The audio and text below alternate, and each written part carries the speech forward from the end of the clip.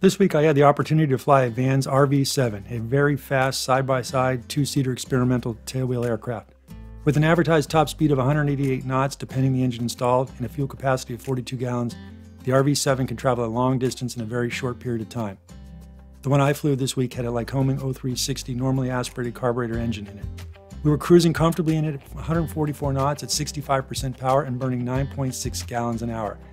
At top cruise speed, we were flying at 154 knots. On this spectacular day, we headed up in the direction of Auburn Lewiston, Maine, and did some engine performance data collection and some steep turns.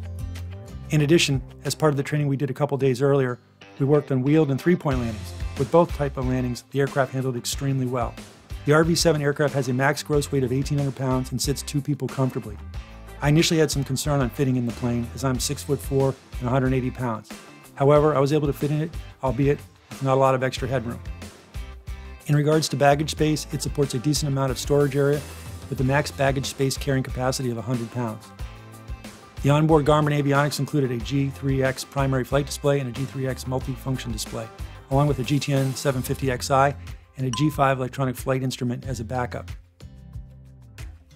With its large and unobstructing view tip-up canopy, the visibility from the cockpit was fantastic as can be seen in these short video clips I took. Suffice it to say, I look forward to flying in this aircraft again.